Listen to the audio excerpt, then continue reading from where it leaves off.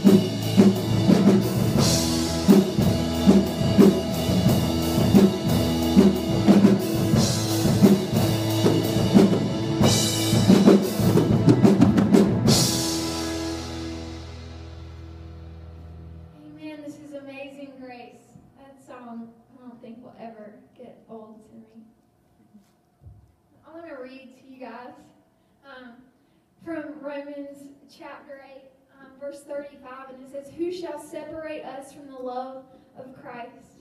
Shall tribulations or distress or persecution or famine, nakedness or danger or sword? As it is written, For your sake we are being killed all the day long. We are regarded as sheep